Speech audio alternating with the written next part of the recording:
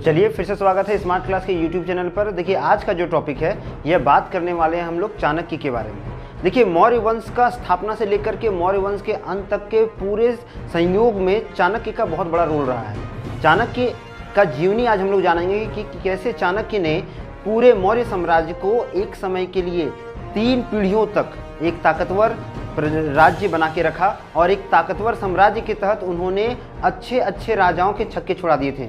इन्हीं के ताकत पर ही सेल्यूकस निकेटर जैसे महान सैनिकों को हराया गया, जो बहुत ही ताकतवर था। तो चलिए पहले शुरू करते हैं हम लोग चाणक्य की पूरे हिस्ट्री के बारे में कि किस तरह इनका जन्म हुआ और किस तरह चाणक्य नीति से चंद्रगुप्त मौर्य ने अपने शासन प्रणाली को बढ़ाया था।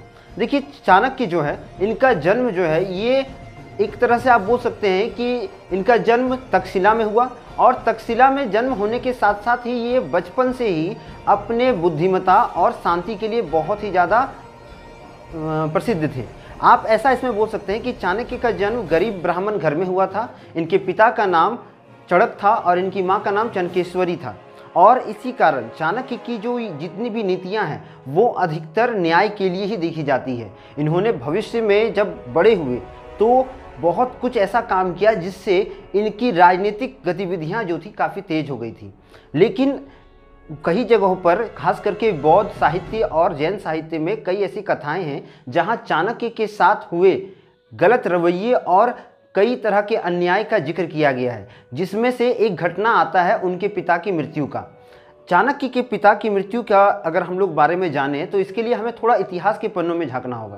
तो आपको इसमें मिलेगा ये कि जब चाणक्य के पिता अर्थात चाणक्य जी, जो एक गरीब ब्राह्मण थे, किंतु उस समय जब वहाँ पर हरियक वंश का शासन था, या आप बोल सकते हैं जब मगध में बिंबिसार जैसे शासकों का दबदबा था, जो बहुत अधिक क्रूर था, जो अपने सेनाओं पर और अपने जितने भी जनता थे, उन पर अधिक टैक्स लगाता था, उन पर अधिक कर लगा करके उनका दोहन करता था और निन्यानवे करोड़ से भी ज़्यादा स्वर्ण मुद्राएँ अर्जित करके रख चुका था वो। इतना ज़्यादा अपना राजकोष में भंडार किया था।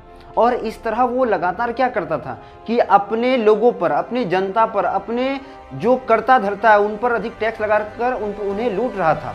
और उन्हें लूटने के कारण एक तरह से बिम्बिसार जो था, वो देश विरोधी हो चुका था। देश की जनता उसे नापसंद कर रही थी, जिसका उदाहरण चणक के किताबों में मिलता है, जहाँ चणक जो थे, वो चाहते थे कि किसी तरह बिम्बिसार को उसके राज सिंहासन से हटाया जाए। और उसके लिए वो कई बार प्रयास कर चुके थे जिसमें अंतिम प्रयास उन्होंने किया चड़क के के एक मित्र थे जो बिंबिसार के राजमहल में एक पंडित थे और उनसे उन्होंने मिल करके एक षड्यंत्र किया जिसके तहत वो बिंबिसार की मृत्यु करना चाहते थे, बिंबिसार को मारना चाहते थे।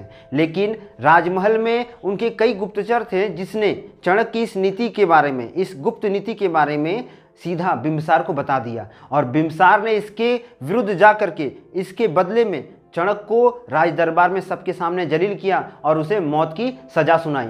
और इसीलिए बिम्बिसार का शरीर से धड़ को अलग कर दिया गया। उसके सिर को काट करके बीच चौराहे पर लटका दिया गया। ये सभी घटनाएँ उसका पुत्र, जो मात्र चौदह साल का था, अर्थात चाणक्य, देख रहा था। उनका नाम विष्णुगुप्त भी है और वो देख करके अपने पिता को दिन भर वहाँ बैठ के रो रहे थे। रात को वो छुपके से आकर के अपने पिता के सिर को एक कपड़े में लपेट कर जाके उसका दाह संस्कार करते हैं और वहाँ ये प्रण करते हैं कि मैं जब तक बिमसार से अपने पिता के मौत का बदला नहीं लूँगा, तब तक मैं आजीवन पके हुए भोजन का सेवन नहीं करूँगा और ना ही मैं अपनी सखाओं यानी कि अपने बाल को कभी मुंडन करवाऊँगा। और इस प्रण ने उसे बदल दिया। यह प्रण इतना बड़ा प्रण था कि इसी प्रण ने चंद्रगुप्त मौर्य जैसे राजा को जन्म दिया। वह निकल चुके थे अपने राज सिंहासन को छोड़ करके अपने जितने भी घर बार थे उसको छोड़ करके वो निकल चुके थे जंगल की ओर और, और वो तक्षशिला में जाके वापस फिर से बस गए। वहाँ पर उन्होंने तक्षशिला विश्वविद्यालय में एक शिक्षक का रूप में काम करना शुरू किया और वहाँ से उन्होंने राजनीति न्याय और अर्थशास्त्र जैसे बहुत से ज्ञानों की प्राप्ति की जिसके बाद वो लगातार अपने पिता के बदले के लिए एक नया युवक खोज रहा था एक नया युवराज खोज रहे थे जो उनके पिता का बदला ले सकता था। और उसी के तहत जब एक दिन ऐसा आया कि वो अपने घर से वो तक्षशिला विश्वविद्यालय की ओर जा रहे थे, जिसके बीच में एक जंगल पड़ता था। जब वो जंगल में घुसते हैं तो देखते हैं कि कुछ भील पुत्र जो है, वो वहाँ पर खेल रहे हैं। ये खेल था राजा और प्रजा का। उसमें से देखते हैं कि एक लड़का जो है, वो राजा बना हुआ है और जिसका उम्र मुश्किल से 18 से 16 साल का है। और वो राजा बन करके जितने भी उसके दोस्त थे जो प्रजा का रोल या प्रजा का बोल सकते हैं कि रूप में वहाँ पर खेल रहे थे उन्हें ये आदेश देते हैं कि तुम्हें हमारा सम्मान करना होगा और तुम्हारे सम्मान से ही हम आगे बढ़ेंगे और तुम्हारी सुरक्षा करेंगे। इस सभी को देखते हुए चाणक्य वहीं रुक गए और ये सब चीज़ वो देखने लगे। कुछ समय बाद जब चाणक्य ने उस पूरे खेल को देखा तो उन, उन्हीं के सामने अचानक एक चीता आ जाता है। और वह चीता सीधा चाणक्य के ऊपर झपटा मारने की कोशिश करता है उस पर आक्रमण करने का प्रयास करता है। तब वो छोटा सा बच्चा, वो बालक जो वहाँ पर राजा की भूमिका में था, वो वहीं चाणक्य को बचाने के लिए अपने तलवार के साथ, अपने भाले के साथ खड़ा हो जाता है। बाकी जितने भी बच्चे थे, सब वहाँ से भाग जाते हैं। लेकिन चाणक्य के सामने वह युवक खड़ा था जो वहाँ से भागता नहीं है। उसको देख करके चीता तो वहाँ से भाग जाता है, लेकिन चाणक्य बहुत खुश हो जाता है। और वो पूछता है कि, बेटा, तुम क्यों यहाँ रुक गए मुझे बचाने के लिए? तुम क्यों नहीं भागे? उस बच्चे का जवाब सुन करके चाणक्य का जो दिमाग था, वो पूरी तरह सुन्न हो जाता है। वो बच्चा बोलता है कि, मैं अभी एक खेल खेल रहा था जिसमें मैं राजा की भूमिका में था और मेरा कर्तव्य है कि मैं अपनी प्रजा की सुरक्षा करूँ और उस खेल में आप भी शामिल हो गए थे यहाँ खड़े होकर के तो आपकी सुरक्षा करना मेरा परम कर्तव्य था।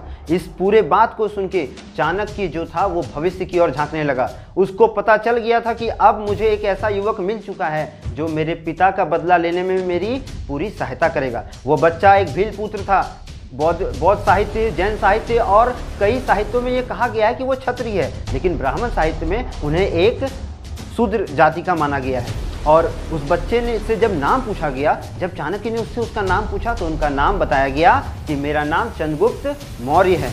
इस नाम को सुन करके उसने उस बच्चे को एक कल्पना दी कि क्या बेटे, अगर तुम्हें सही में राजा बनाया जाए, क्या तुम चाहते हो कि तुम राजा बनो? वो बच्चा बहुत अच्छा से खड़ा होकर के और पूरे सम्मान के साथ बोला कि हाँ मैं चाहता हूँ कि मैं राजा बनूँ और मैं राजा इसलिए बनना चाहता हूँ कि मुझे बिम्बसार से मेरा माँ के अपमान का बदला लेना है।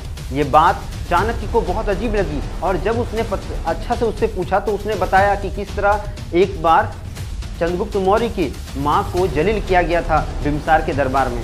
तब चाणक्य अपने मन के बातों को नहीं रोक पाए और उन्होंने भी उसे बताया कि किस तरह उसके पिता को मारा गया, किस तरह बिम्बसार ने उसके पिता के शरीर से उसके धड़ के को अलग कर दिया था और उसके पिता को बेइज्जत किया था पूरे ब्राह्मण समाज में, पूरे जाति में, पूरे शहर में। दोनों का जो रूट था, दोनों का जो एक मार्ग था, एक ही था, दोनों का मंजिल एक ही था, तब चाणक्य ने उसे ये कहा कि तुम्हें मैं एक राजा का सिंहासन में बैठाऊँगा, लेकिन तुम्हें बहुत सारे त्याग करने होंगे। उस त्याग के लिए तुम्हें मेरे साथ जाना होगा और मैं तुम्हें कई विद्याएँ सिखाऊँगा शस्त्र शास्त्र और युद्ध नीतियाँ सिखाऊँगा, जिससे तुम बिम्सार का सामना करो और उसकी बहुत बड़ी सेना को हरा पाओगे। कुछ समय बाद, लगभग पाँच वर्षों तक बिम्सार के लिए बिम्सार के विरुद्ध में। चाणक्य ने एक नया नया युवक तैयार किया, जो चंद्रगुप्त मौर्य था। उसे हर प्रकार के शास्त्र, संगीत और जितने भी अस्त्र शस्त्र थे, सभी की जानकारियाँ दी और निपुण कर दिया। जब वो पूरी तरह तैयार हो गया, वो बच्चा लड़ने के लिए काबिल हो गया और उसे हर विद्या सिखा दी गई।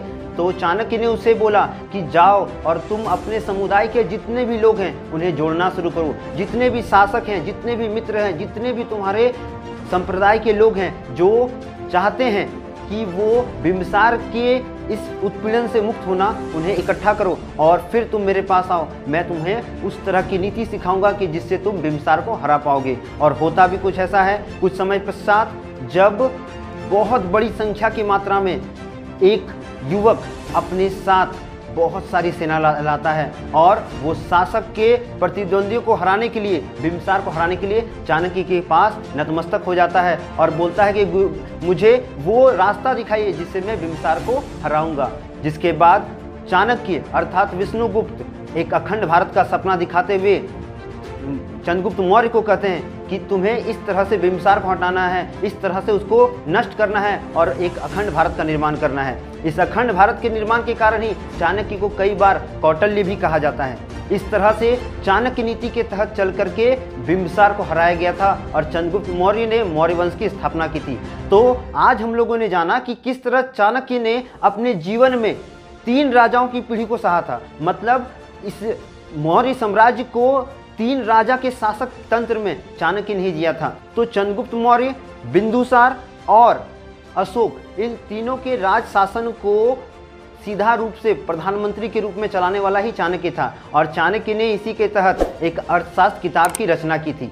तो आशा करते हैं कि चाणक्य की सभी बातें आपको बहुत अच्छे से समझ में आ गई होगी। मिलेंगे हम लोग अगले वीडियो में। तब तक के लिए चैनल को लाइक करें, शेयर करें, सब्सक्राइब करें। वंदे मातरम, भारत माता की जय।